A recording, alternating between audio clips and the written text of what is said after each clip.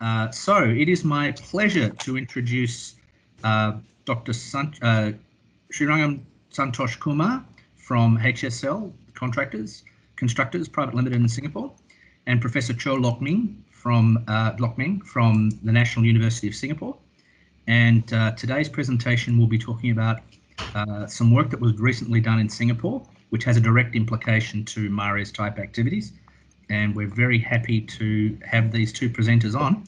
So if, um, if you don't mind, I'll pass off to Santosh and do you want to kick off?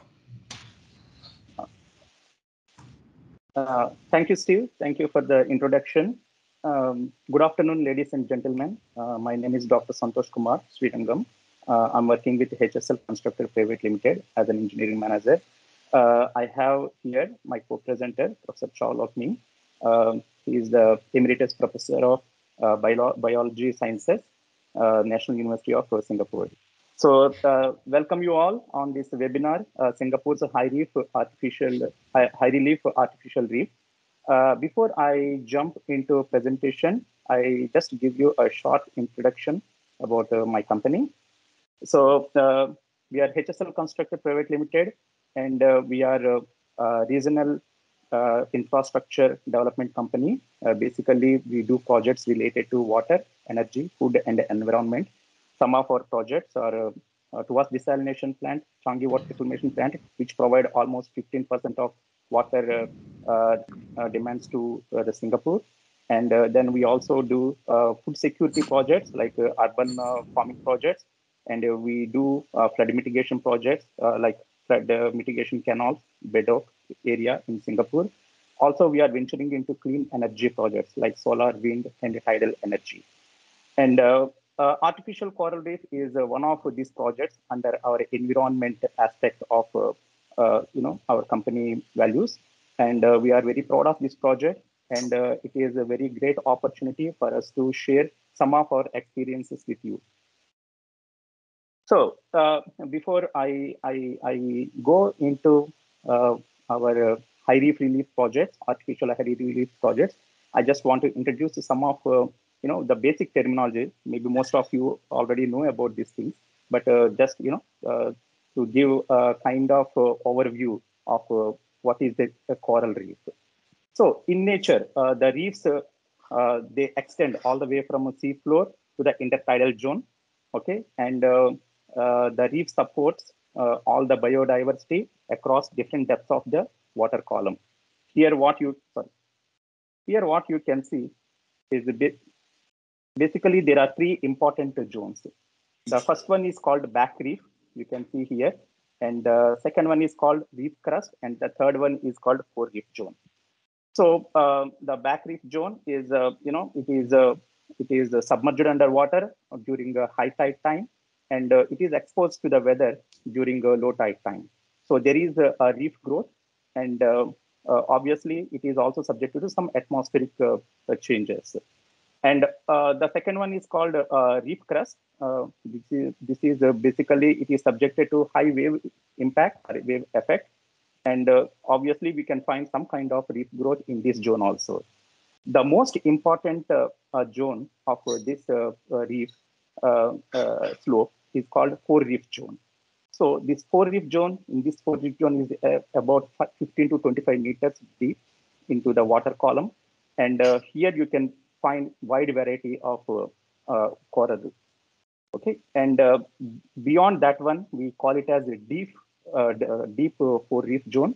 Um, here also we can find some kind of coral growth, but as and when the depth increases, because of lack of light intensity and high wave impact, the corals cannot grow any any further.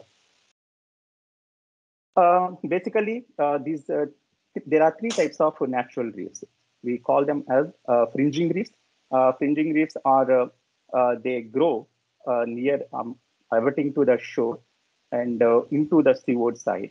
And this kind of fringing reefs actually, of course, they support the biodiversity also, they can reduce erosion and wave energy. And uh, uh, the second one is called barrier reefs. And uh, these barrier reefs, actually a large uh, uh, reefs, they form parallel to the shore. and uh, obviously separated from the shore by a large expanse of water.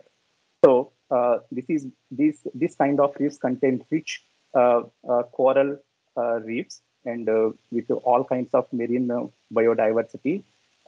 These reefs are very effective in reducing the wave impact. And the third one is called atolls. Atolls usually they form, um, you know, surround these atolls surrounds what do you call that a lagoon Okay, and these lagoons formed due to the subsidence of uh, uh, volcanic mountains over millions of years. And these atolls also, they have uh, rich coral biodiversity. And also, these atolls, they can reduce a lot of wave impact. So uh, now we go to artificial reefs. So basically artificial reefs are two types. The first artificial reefs are uh, the they, they are the structures and built for some other purpose like oil rigs and all and they are left to uh, you know after their useful life they are left to uh, coral uh, uh, growths that means uh, uh you know uh, these structures just they left there and uh, the the bottom of the structure below the sea they have large framework and because of that they can attract a lot of marine uh, you know, uh, uh, marine bio biosystem.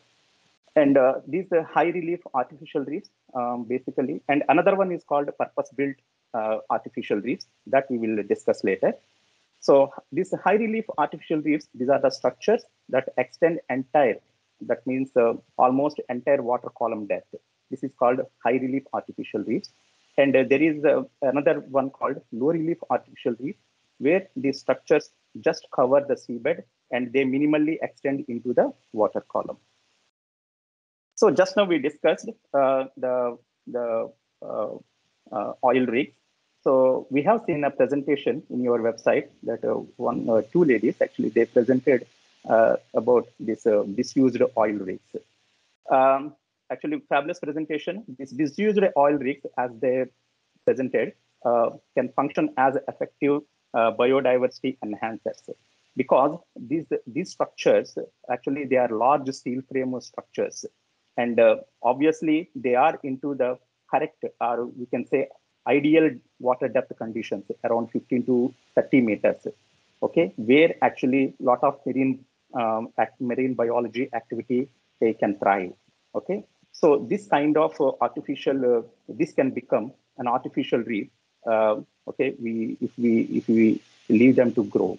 And another one is uh, we can see on the right side the marker buoys so whenever you have a tall structure submerged inside the water obviously it will attract the fish life and other marine ecological uh, uh, organisms so uh, this kind of uh, uh, marine marker buoys also they can encourage coral growth and also other forms of marine life um, so decommissioning of this kind of disused oil rigs, they cost millions of dollars. And also, um, if we leave them to, to the coral growth, and uh, if we spend some of this money, uh, you know, towards uh, encouraging this kind of ecosystem, then, you know, at least we can we can replenish the kind of the percentage of coral we lost, you know, for the last 10 years, I heard around 30% of the coral growth has been lost. And by 2100, almost uh, there won't be any coral left uh, if we don't take uh, proper measures. So uh, this is the one of the oil rigs. Um, they currently they function as a high-profile uh, artificial reefs, and uh, the, this is in Brunei. And Professor Chou and his team dive into this waters, and they see around this Brunei oil rig uh, on the left side, you can see a lot of uh, uh, coral growth has been happening here. Okay, on the right side, nearby that location, there is a buoy line, and even you can see that the buoy line, it attracts a lot of fish life and other flora fauna of the ocean. And how about offshore wind turbines? Obviously, they can also serve as uh, uh, supporting structure um, for this uh, marine biosystem. And uh, obviously, uh, uh, these up to some extent, actually, the corals can grow but for deeper waters, at least it can it can uh, uh, house some kind of marine uh, biosystem. So coming to artificial coral reefs, um, this Singapore actually lost quite a chunk of coral reefs for the for the past few years. Um, because there is a lot of coastal activities or coastal improvement activities, we can say. And uh, because of that, the natural growth of uh, these uh, coral reefs, uh, you know, it's been stopped. And also we lost a lot of coral uh, area. So, um, but there are some measures have been taken since then, since 1980s. But these measures, most of these measures are limited to, you know, rehabilitation, or we can say that the existing coral reefs, whatever the existing coral reefs, uh, we try to rehabilitate these systems. But uh, uh, what can we do about those already lost?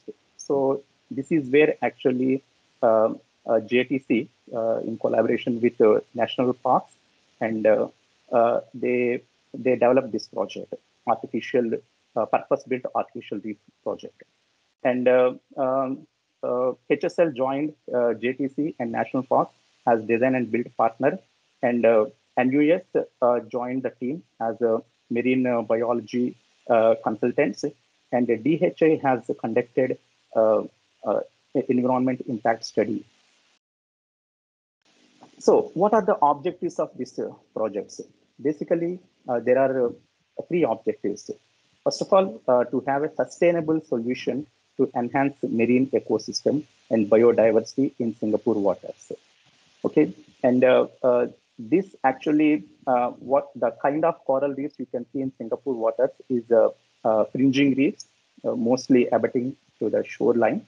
And what we want to do is we want to develop these corals in the open water okay? On the you know uh, calm waters. We can find some calm waters nearby uh, some of the locations open water where actually you can find a lot of sunlight also. So to taking advantage of this kind of conditions, if we can build some kind of artificial reefs in those waters, and certainly there will be uh, thrive in the uh, in the coral uh, uh ecology system. Second one is uh, uh, by having such kind of structure, we are expecting as much as thousand square meters of new space for the corals and reef associated biota. So, which is very important. Um, and uh, third one is obviously uh, this is uh, more related to uh, the recreational activities like uh, scuba diving and all. Also, uh, we have a lot of high education universities here, and they can have some kind of research facilities. You know, having this kind of high artificial reefs. So apart from these uh, uh, main aims, we the following are the ecology aims.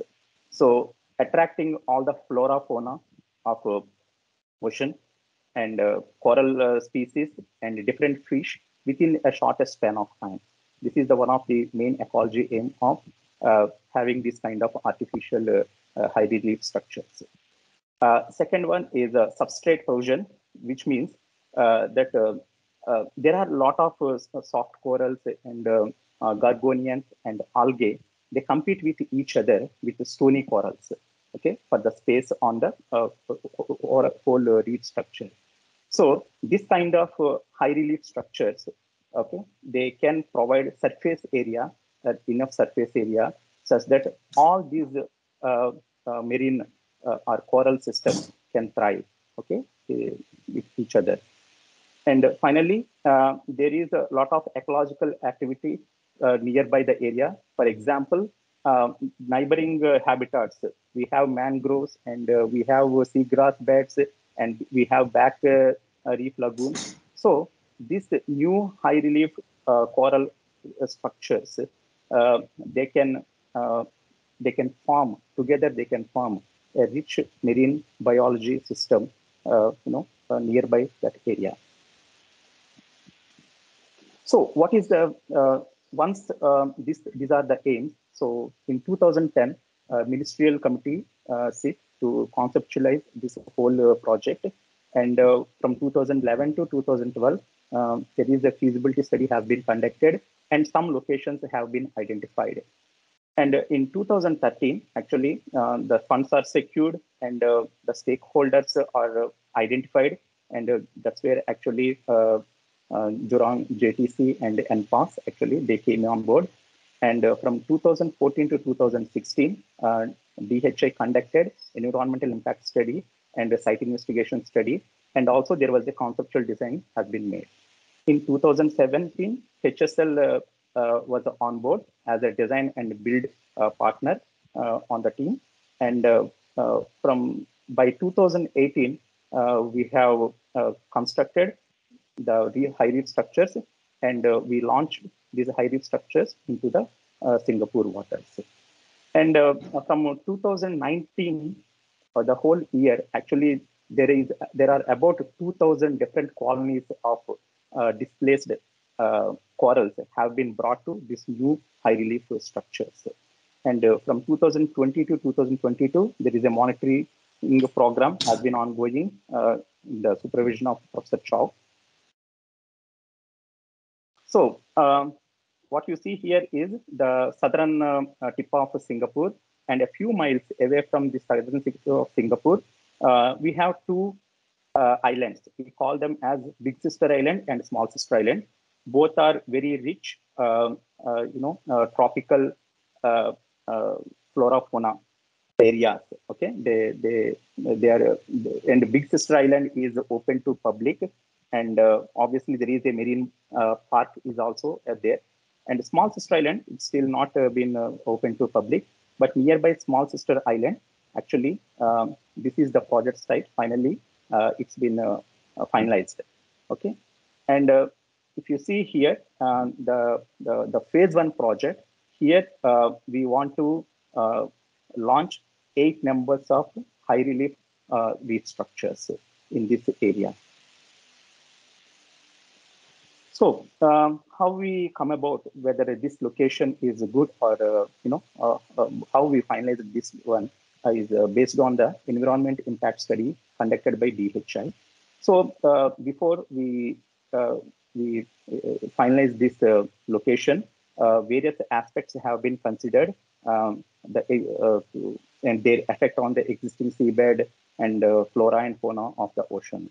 So uh, suspended sediment, pollution, underwater noise, navigation safety, and uh, uh, you know other seabed morphology, currents, wind waves, ship all these factors actually uh, they are mutually affect each other. So the high relief structure obviously have effect on this uh, these fact these aspects. Also, these have some effect on these high relief structures coral growth.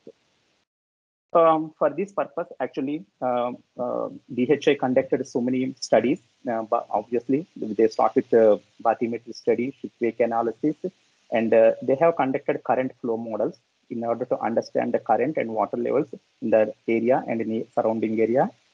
Sediment spill model uh, in order to understand the propagation of spilled materials, okay, uh, based on the construction activities the going nearby that that place and uh, mud transport model, uh, this is a transport of corrosive materials based on the flow conditions. So all these uh, studies actually have been conducted properly. And obviously, uh, they found some kind of, uh, uh, you know, very minor effect of these, these above aspects on this on this nearby flora and fauna of this area. So uh, one of the such factors are uh, suspended sediment. Obviously, uh, during the installation time, uh, they advised us to install silt curtains. And uh, uh, second one is underwater noise. They advised us to minimize or if possible, completely avoid piling works. And third one is navigational safety during the construction, basically. This is so we have obtained all the permits from MPA, and uh, there are some designated uh, uh, fairways and uh, designated nav navigational approach. Uh, we have decided. I mean, we have uh, taken permission from MPA, and all the all the transportation activities happened only in those areas. And finally, there is a, as I said, there is a bio, marine biology park and uh, uh, we try not to disturb them as much as possible.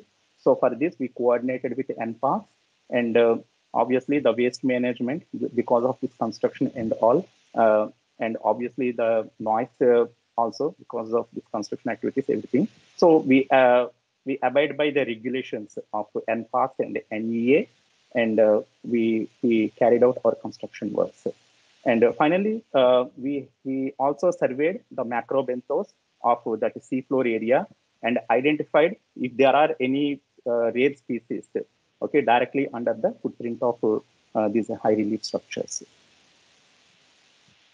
So what you see here is the top one is a tender uh, model, okay, and uh, the bottom three are uh, the three mo different models have been identified uh, uh, during during the design phase, and finally you see the proposal one has been selected as the most ideal high relief structure. So um, these high relief structures, basically, uh, they they lot of technicality uh, went into these high relief structures uh, before we come up with the design. Um, and obviously, uh, these structures uh, should encourage uh, the coral growth, and also it should attract a lot of fish species once the construction is done and you know it is there for several years. So um, the first and foremost thing is the height of the structure. So the reef structure had to be sufficiently high enough to optimize the sunlight penetration zone. Okay, so uh, for this purpose, actually, uh, uh, there are total, I told you already, uh, it, there are eight number of artificial reefs are launched into the water. And uh, four numbers uh, actually are of seven meters high. And four numbers are around 11 meters high. Okay? And uh, length and width are about 12 by 6 meters for both the structure. Um, so uh, if you see there are a lot of levels huh? lot of levels uh, you can see along uh, this structure this multi-level configuration actually uh, um, this is uh, in order to take advantage of sunlight penetration along the different depth of the water zones okay and because the top six meters of water column it is very essential for the coral growth and uh, survivability. And uh, uh, second thing, you have seen a um, lot of um, openings in this structure, and it is mainly to encourage um, the current flow, the water flow, and also light penetration. And uh, one more thing is um, uh, the orientation of the structure uh, and also the sloping surface. we mimic the sloping surface of uh, Singapore uh, reefs, uh, try we try our best to mimic this kind of route. this not only it will encourage the coral growth, but obviously also it will minimize whatever be the sediment that is going to accumulate. So it will drop off. Uh, what you can see here, the, the bottom figure, is that we try to increase the surface area of the structure. Uh, you can see a lot of uh, grating okay and uh, this uh, grating uh, we provided on the upper sections and also there are some overhanging sections you can see okay this is mainly to reduce the shading and also all the air sediment to fall through this grating. Second thing uh, to maximize the surface area of the coral growth. Um, so a lot of uh, uh, recycling material has been used in this project. Uh, there are a lot of GRP pipes and uh, uh, used steel members. We salvaged from our earlier projects, like uh, Tuas desalination plant project, and uh, we have used in this uh, structure. The main purpose here is because this we call it as fiberglass material. This fiberglass material it will encourage the biofilm formation. So that is the reason. And the second thing is what you can see here is the concrete surface. The concrete surface actually infused with the rock obtained from uh, JTC's previous project. Okay, a lot of used rock. And uh, this will also encourage, uh, you know, the coral uh, um, growth. Okay. And uh, what you can also see here is uh, the increased the texture. You can see the bottom figure, the texture complexity. We try to, you know, put as much as possible. So um, uh, the most important uh, uh, recommendation by DHI is try to eliminate or minimize or try to eliminate uh, this piling if possible. So we took that very seriously. And uh, uh, this project, these uh, high relief structures have been put on seabed, prepared seabed. There are there is no piling involved in this project. Okay, and how can we achieve this is you see the the the base of the structure made very wide. Okay? And uh, we also coupled this base with uh, the steel anchors. And we have installed counterweights uh, such that to provide stability of the structure against the sea waves so uh, some of the key activities uh, we just try to explain here and uh, the left top figure is casting of main wall panels that is what you can see here in the third figure. This one is the casting of uh, main wall panels. And uh, the second one, top uh, second one, is the fabrication of um, bottom structure. And once these, uh, uh, these, these are done individually, we try to uh, do a trial assembly on shore. And if there is any problem in the fitment, we try to solve here itself. Once everything is done, we transport them by barge and uh, then we installed artificial reeds, these artificial reeds in two parts. The first one, the bottom part went in.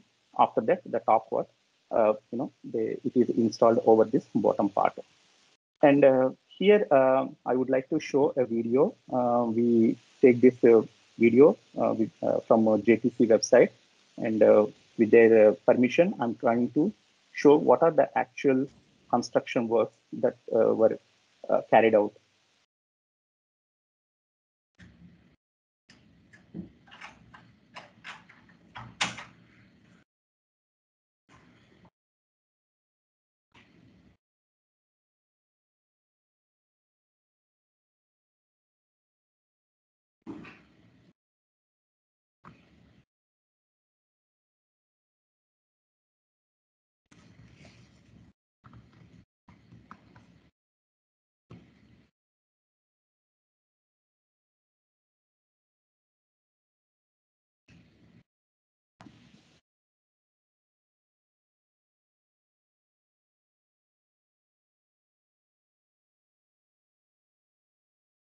Thank you. So uh, we are in the last leg of the presentation. Um, so this kind of uh, high relief structures, um, these are all multi-purpose uh, uh structures. Not only they encourage the coral growth, and uh, obviously um, because uh, because of the coral growth, the whole biology, marine biology system will thrive around in and around these structures. Not only that, and the, there are a lot of uh, uh, studies have been done on such kind of artificial structures. And uh, it is well documented that um, these artificial structures can act as buffer zones for the wave energy reduction. So what does it mean? 90% of the average total energy can be reduced um, because of this kind of structures nearby the shore. And the second thing is 85% of the total wave height can be reduced, you know, uh, because of uh, having this kind of uh, uh structures. Uh, what you see on the left side is one uh, of such structure. it is launched nearby Monaco, and you see the kind of rich coral growth. And not only that, and it also actually reduced a lot of wave impact onto the nearby shore. So by having this kind of structures, it is estimated that we can save as much as 9 billions of assets along the coastal line every year. So yeah, which is a, a very uh, high value. And uh, second one is the shoreline erosion.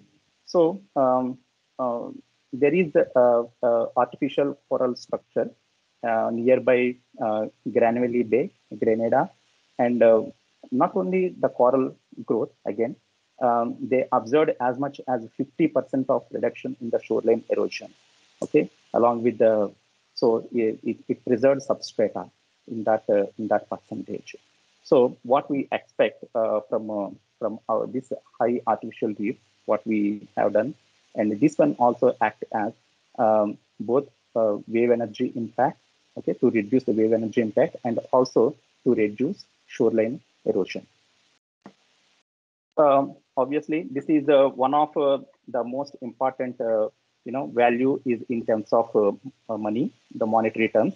Um, coral reefs home to about 25% of all marine and fish species, and and obviously that kind of rich ecosystem will attract a lot of tourists, basically the scuba diving and other recreational activities. And because of that, a lot of money can be generated and obviously, it also act, uh, uh, attracts a lot of fish, uh, fish types, and uh, the fisheries can benefit also because of this kind of coral uh, uh, reefs. And obviously, the biodiversity can be enhanced by having this kind of high relief coral reef structures. And uh, we know that uh, the coral reefs can be used in a lot of medicine and uh, pharma industries, cancer, dental care, HIV, uh, AIDS, and also inflammatory bone uh, pain and uh, Parkinson disease, whatnot. There are so many, you know, pharma medical industries related to this, you know, diseases. They use coral reefs as their one of their important components. And this finally, uh, the coral reefs provide uh, structural support that could stimulate uh, the recovery of the endangered reefs. And also they provide shelter and fodder for the marine organisms. And they can influence the density of the coral larva which in turn they can influence the settlement and the post-settlement uh, colony. And also uh, the coral cover the larva restoration so uh, this is this is what actually we we try to achieve uh, by you know 2030 and uh, what you see here, these three photos are, uh, you know, the recent photos we have taken uh, on these high relief structures, what we have. So this actually concludes my presentation. Um, thank you so much. Thanks, Santosh. That was great. Um, I, if you don't mind, I'm going to ask people to ask some questions, and I think my friend Scott Countryman is going to probably ask a question next. So I'll hand over to him after I finish my question. But could you go back to your slides on the applications and uses of coral-derived products? No, uh, which one? No, this one? No, the one before. The one talking about uh, medicines and uh, the medicine medicinal yep. use. This one. Yep. Um, we have a consultant on the MaRSTA called Tom Bowling who runs a business called Biota out of Palau, which captures um, gametes which are spawned from coral reefs, tank rears them, and then re- sells a portion of them to the ornamental fish market and puts a balance, uh, puts a portion of them back on the reef to maintain and regenerate the reef, uh, as opposed to the current market, which is just coming and stripping stuff off. Do you are you doing any work, or are you involved in any work where um, uh, people can go onto the reef and extract these materials, but do it in a regenerative fashion. So, in other words, that they don't just strip everything off and then walk away, but how they look at the husbandry and growing and repeating. Could you just talk to that for a little bit? Uh, actually, uh, Steve, I I leave this question to uh, Prof. Chou, but before that, um, as I said, these uh, corals uh, right now from 20 to 2020 to 2022, still the monitoring uh, it is in the monitoring phase. Okay, because the, the reefs were just installed in 2018, and what you have seen in the last photo is in 2019. So it's not even uh, you know more than two years. So I think uh, at this point of time, uh, this kind of uh, you know uh, thing, uh, I don't think it can happen. Okay? Yeah. But anyway, okay. Prof, I leave it to Prof. Chou. Okay, Steve. in response to your question, no, there, there isn't any uh, sort of uh, uh, uh, surveys going on right now for uh, species that have got uh, potential pharma pharmaceutical properties. in Singapore, we used to have that going on, I think, in the 1990s. Mm -hmm. But right. then it, it, sort of filtered off simply because uh, people were trying to collect too much of the same thing. Uh, so so that that was that sort of uh, filtered off. And uh, but now we are really going into you know making uh, full assessments, especially the genetics of, of the corals and other bi biota in Singapore waters. And uh, once we have that kind of information, then then we can start to to zoom in on on some species. Okay. Right, so, right now we, we do have someone in in uh, the University Nanyang Technological University. He's looking into uh, bioactive compounds uh, from blue-green algae, okay. and and they have been deriving quite quite a lot of uh, interesting products from that. So we know that your neighbours in Malaysia are doing a lot on biotech, specifically on seagrass. Um, we actually wanted to invite a firm to do a presentation, but they politely declined because they said they weren't ready. Um, but uh, be really interested to hear what Singapore does in this space, given Singapore's very strong position in biotech um, and and in pharmacology. I think it would be really interesting to see where that goes. There could be a significant opportunity for Singaporean-based companies to extend out and do work regionally. Um, uh, Gary, uh, sorry, um, Rafael Abasov has asked a question, so I'm going to ask um, Scott to put his question in the in the in the chat. Uh, Rafael is working in Palau uh, and regionally is an energy guy in the Pacific, and he's got some questions. Many thanks for the presentation. Is there any commercial insta installations with estimated costs and benefits valued? Uh, is this this is a demonstration project? Have you been asked to look at any commercial projects where, for, for instance, you might be doing coastal protection for breakwaters or stopping coastal erosion?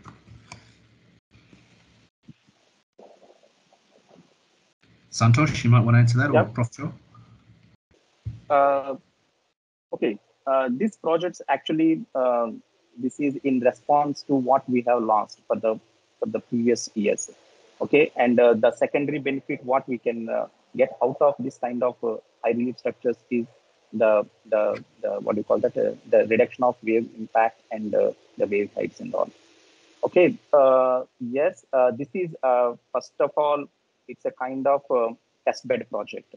Okay, the tested project in terms of marine growth, I mean coral growth, how it can fare uh, for a few years, and then if uh, obviously we we would like to, I think we think this project is going to be successful, and uh, then obviously we can have many of these projects nearby, uh, you know, Singapore shoreline. Uh, Prof. Anything you want to add? Uh, yeah. I, I don't think we have really gone into these uh, sort of economic considerations of mm. this. I think this is a demonstration to show uh, how well it works in terms of uh, enhancing the biodiversity. Uh, okay. Uh, then, then after that, most most likely there will be, of course, uh, a lot of these economic uh, considerations coming in because the program is likely to be expanded, and the Singapore government has already announced a lot of investments into coastal protection and and trying to incorporate uh, nature-based solutions as well. Yeah. So one of the things that's very obvious is that there's a there's a high value of blue carbon, you know, yeah. marine-related biodiversity and also carbon offsets and implications for ocean acidification. Um, we're doing some work on that with the Natural Capital Lab, ADB Natural Capital Lab, which is a joint venture between Stanford University, ADB, and the National Reform, Reform and Development Commission in Beijing. But um, and I might ask Deborah Robinson to ask to, to talk a little bit about that for like for, in, in a minute. Scott Countryman, can I call on you? Are you ready to ask a question? Sure. Uh, first, I'd like to thank uh, Doctor for for sharing all that valuable information. I'm I'm excited to see innovation for coral reef restoration in any form. And I had a couple quick questions. One is, um, you know, is the assumption that the bare substrate around the project area is not there isn't enough for coral growth for natural settlement? Are these areas just you know, sand bottom and not enough uh, bare rock? Uh, yeah, these these areas are just uh, sand bottom, uh, and and not not much rock on on on the bottom, and so the idea is to have these high relief uh, structures uh, to provide additional space uh, for for corals to grow on. Otherwise, we, we just have that that area is just uh, you know it's an open sea area and and it's it's just uh, water that's uh, uh, flowing across. If I can ask a follow up on that, you know, one of the criticisms that we get in our coral restoration projects is that our structures have become fish aggregation devices. So instead of actually, uh, in the short term in particular, uh, that the criti- criticism is that we don't increase biomass, we just redirect it to our structures where there's better habitat. And I was Yeah. wondering if you've done any studies about um, how it increases biomass over the general area and if what kind of activities are allowed. Are, are you going to be allowing recreational fishing, for example? Yeah, right. Right now, I, I think that that has been the the major criticism that uh, these artificial structures do not actually increase the biomass, but they shift biomass from from one area to another area. But uh, we we had some studies earlier on with other types of artificial reefs, uh, ranging from you know in those days in the 1980s, we were using uh, uh, vehicle tires as well as uh, concrete cubes and uh, placing them off a reef and then finding that initially, yes, you, you get fish coming from the reef onto these artificial structures. But then as, as time goes on and you have uh, the, the uh, encrusting communities developing on the artificial reef structures itself, then it, it started to provide uh, a food source and, and the fish uh, communities uh, uh, started to develop. So in effect, there is more or less an increase in fish production. So it's not just a shift of fish from one area to, to another area.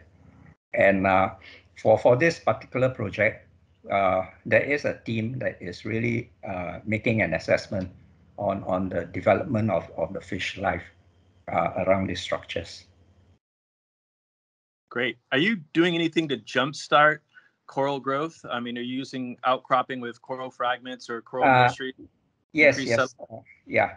Uh, some this this project has given us a lot of, uh, I mean, the potential to do some some uh, uh, good research into this, uh, because uh, we also uh, some a few of these structures have received coral transplants that have come from other projects where development was going on and those corals just had to be transplanted somewhere else. And uh, so, so I think two or three of these structures have received those.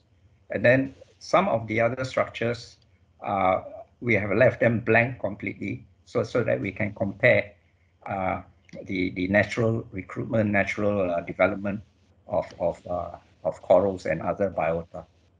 Excellent. And well, my last question is on costs and scalability. I can definitely see the application for like high tourist areas where there's um, high recreational value. But for let's say when you're looking at an island nation like the Philippines with 37,000 kilometers of, of coastline, um, how does this scale? And so uh, your comments on that would be appreciated. Yeah, I, I don't I, I think when it comes to scalability, uh, you know, we, we, we just cannot uh, I mean that there's no no one system fits everything. Uh, so I, I think this this uh, uh, tall relief uh, artificial reefs that, that we are experimenting with, uh, they are applicable to uh, urbanized uh, coasts. So coasts with, with a very high urbanization footprint uh, this is where we, because we need to expand the space for for the, the coral reef habitat. Whereas in, in other places like in the Philippines, in Indonesia, and all this, uh, where you have more of this, uh, I would say not not so highly urbanized areas, they are more more uh, uh, uh, in in more rural settings. Then uh, I I don't think this this kind of approach would fit well in, into that kind of situation. Okay, thank you. Thanks, Scott. Um, I was just interested. I, I understand Sentosa Island is doing a great deal of work on sustainability, and I'd be surprised if they're not going to do this um, because that might be a good business for you. But Prof. Chua, I'm, I'm going to Joe, I'm going to ask Nick Lambert to ask a question. Before he does, though, I've just got one quick question for you. Um, you've been in this space for a long time, and you've seen a lot of people who've been interested in working in it. Do you think um, now is the time has come now, given the the dramas we're having and the problems we're having, and uh, the focus that is developing out of climate resilience? I mean, I noticed Singapore declared a climate international climate emergency in the Parliament last year, which was great. Do you think that there's a that time has come for this sort of technology? Uh, yeah, I, I think it's, it's time to look into this this uh, approach, and and also to you know look into uh, the some of those approaches uh, with regards to oil oil rigs that have been already been uh, uh, mooted. I, I think it, it, these are all approaches that that we should really be be looking at because you know it, it really helps to optimize I think in the past we, we always think of this as as some some convenient way of polluting the oceans, but but now with with urbanization coming on, uh, I think we have to start to have a different kind of uh, thinking about this. Thanks, Prof. Chou. I'm going to in introduce Rear Admiral Nick Lambert, who was the Chief Hydrographer for the UK Navy and is the lead technical consultant for the MARES-TA. Nick, it's your turn. Thank you very much indeed, uh, uh Santosh and Prof. Chou. I, what a what a fab project, and well done for achieving it. And um, and isn't it fantastic that uh, a small island state like Singapore, with such a tiny landmass and such a small sea space, is able to produce such um, leading projects, demonstrating projects. Um, I was really interested in the conversation about the value of uh, how you value these projects and how you scale them, and that that conversation has already run. And I commented. Just going back to your early slides, Santosh, you were you were talking about the decommissioning of oil rigs, and you also mentioned the two ladies that presented on a webinar uh, a little while back. One of the things I'm interested in is how do we how do we build um, offshore infrastructure with this um, artificial reef um, concept in mind from the beginning. So that, in, in which case, one would what one would do in the life cycle of, say, a wind tower, offshore wind tower, or an oil rig, or a fish farm, or whatever it might be, would be you you wouldn't actually decommission it. You would just change the functionality of it through life. Um, so you would build the structure with your very clever uh, concrete um, infusion technology with the uh, the different levels and the the um, the flow the flow uh, technologies and you mentioned the uh, the amount of surface area you would build yep. a platform for that so you wouldn't actually have to decommission it you would just change its functionality through life and therefore yep. the decommissioning cost would be built in as part of the investment and the valuation of the platform could be predicted through life. Are you, are you having, I guess you're thinking about that because you're obviously very clever people, but are you having any discussion with offshore infrastructure uh, designers and, and constructors?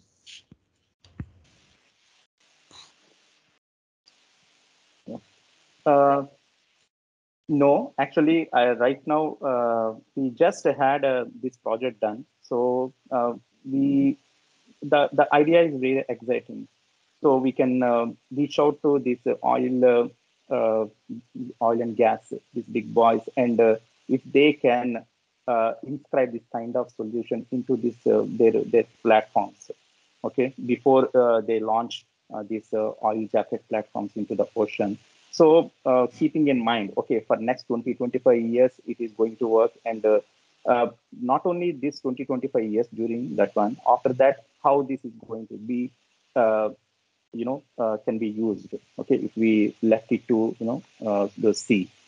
Uh, no not not yet we haven't reached uh, to any oil and gas this this guys yet but uh, Prof. you want to add anything to it uh, no, uh, I, I, maybe just want to say that uh, the, the Malaysians are, way way ahead on on this uh, path already, and uh, really looking at you know how how to uh, uh, make make use of decommission uh, uh, oil rigs. But uh, I, I think structures like this uh, have the potential uh, for which uh, where, where the functions can, can really be, be increased, or at least the functions can change with, with time after they have uh, finished delivering their, their primary uh, objective. So, so uh, I, it's a very open uh, uh, uh, concept can, can be thought of further and, and developed further. Nick, are you done? No, I, I think that's very helpful, and and um, for us in the Mares project, Steve, I think this using examples like this particular case study, which is um, so impressive, and I'm I, I've picked up on the Malaysia point as well. This is something we we perhaps should pull through into our thinking in in the Mares project, and perhaps have some of these conversations. It's very interesting seeing uh, the chief executive uh, BP being beaten up recently on a TED talk. And it was um, Shell. It was Shell. Shell. You're quite BP, right. BP, the good guys. The, sorry, uh, but it, it's um, uh, but it, it's it's interesting if they were to if they were to build these things in right from the get go, um, that they might have a, a more of a fighting chance, and we would all benefit.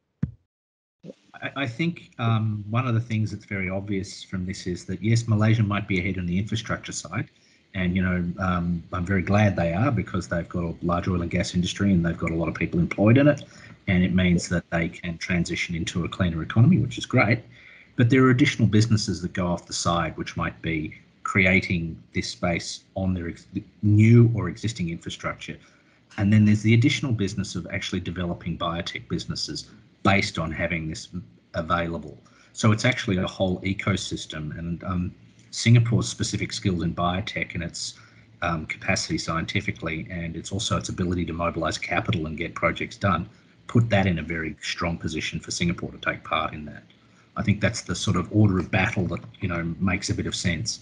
So, so Prof. Joe, bo pai se lo. That's Hokkien for don't be embarrassed. So, okay, the next question. I'm sorry, I have to see who that next question is from. Uh, Gary Hessling, please go ahead. Ask your question. Steve, thank you. Um, Santosh, what a fa fascinating presentation. Can I ask, um, these are very special and precious commodities that you're building and establishing. My question really comes from an informing perspective. So um, crazily, we in the UK still do not show on our navigational charts are marine protected areas or are marine conservation zones. Um, are you are you sort of seeing are they going to be uh, shown on charts in your region so that the larger uh, shipping uh, drivers, port authorities are knowing where these are sited? If so, great. But the challenge is a lot of people don't need charts or use charts, particularly recreational uh, users in the maritime domain. So how, how are you informing, educating and protecting these structures from those types of uh, users? Okay, uh, as I said, uh, we uh, we consulted MPA uh, not only during this project actually. Okay, MPA knows that there is a kind of marine biosystem is growing in and around this kind of whole development. So I think uh, uh, we have taken enough measures not to, you know, uh, allow any kind of, you know, ships and everything, this kind of uh, uh, vessels to go around this kind of area. And the second thing is obviously what we have to see is the pollution caused by this kind of vessels okay because uh, well, one way or other way all these discharges into the sea can uh, can uh, discourage the growth of corals so um, uh, i think uh, jtc and uh, NParks uh, they they take uh, uh, proper measures in in you know protecting this kind of areas. What we know is during the construction um, we have proper you know what do you call that the discussions with mpa okay? And uh, they have uh, considered uh, all our you know requests and during construction actually we haven't seen any anything is happening around there. But after that after construction i think uh, NPark has have already taken strict measures okay? So i think uh, these areas to me uh, it's well protected from uh, from this kind of activities shipping activities. Prof. Chou? Uh, yeah, uh, the I, I, it, it, took a couple of years, uh, two three years, for all the different agencies to get together when when you know uh, when when uh, discussion was going on as to where we should be putting these uh, artificial structures, and of course uh, the considerations range from uh, it has to be away from from shipping shipping routes, uh, and I, I was very encouraged when it, we decided that it should be put into the the, the marine protected area. Because then uh, uh, you, you, you really have, have got very good uh, protection measures. Uh, you don't get people coming from everywhere and just coming in and taking a nice dive and, and enjoying the view uh, because we really need to, to follow up with the research and, and get, get the good research data out of this. Uh, but once, once uh, it is decided that we can expand on this and we have to start to look for other areas, uh, then we have to start to to think about how how to to keep them protected. Uh, without the protection and the management, uh, th these things will uh, you you end up with uh, worse damage because people will just as as this becomes like fish aggregating device, then people will just come in and just uh, haul up all the fish. Can I, thanks, Prof. Chou. Can I ask Scott, you've got another question? Just real quickly, have you ever thought about using your structures as a anti-trawling device? I mean, there's so many locations where uh, clearly if these things were in the water and the exact location wasn't known, it could be a deterrent to uh, illegal fishing. Uh, yes, it, it can be uh, uh, thought of as that. Uh, it's just that we, we don't have any trawling in, in our waters because our waters are very constrained and too many ships are moving up and down. but I, I think there is that application elsewhere where, where trawling is, is going on, I guess in Malaysia, in, in Thailand, certainly these structures can can can be constructed to to prevent uh, or, or to discourage uh, trawling. Okay, thanks, Scott. Um, so we're going to have to wrap up here, but I, I, just wanted to reinforce the point that we just talked about in the last five minutes, that um, developing these activities is not something we do because we want to be uh, be seen as green or we want to get votes. These are things that we need to do to preserve uh, the assets we have in the ocean and the ocean in the sea. What was interesting is the discussion about which departments and which authorities need to be engaged.